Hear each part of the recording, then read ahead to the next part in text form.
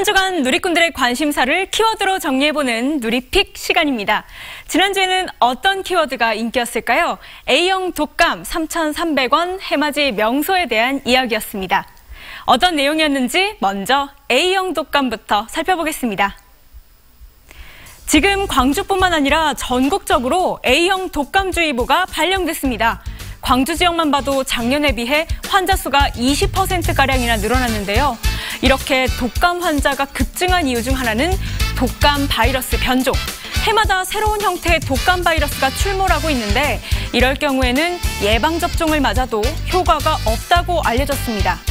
주사 맞아서 안심하고 있었는데 예방주사 왜 맞았을까요?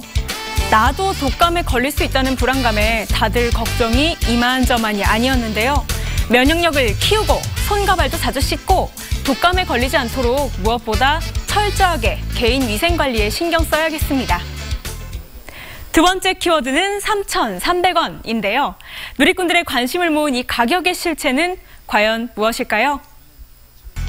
3,300원의 정체는 바로 오는 10일부터 인상되는 광주 택시 기본 요금입니다.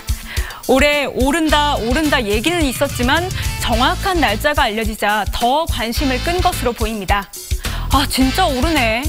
2,800원일 때가 좋았는데 10일 전까지 택시 많이 타야겠다.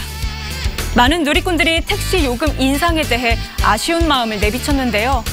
갑자기 내 월급 빼고 다 오른다는 말이 떠오르는 이유는 왜일까요? 매년 1월 1일이 되면 떠오르는 해를 바라보며 한 해 소망을 빌기 위해 해맞이 명소 찾는 분들 많으시죠? 그래서인지 남도의 해돋이 명소에 대한 소식에도 관심이 모아졌습니다.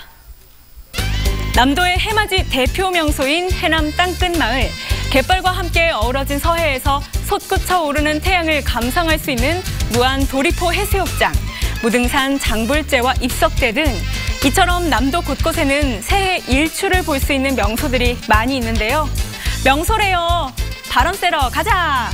2019년 희망찬 새해를 맞기 위해 해맞이 계획을 세우는 누리꾼들이 많았습니다. 지금까지 한 주의 누리픽이었습니다.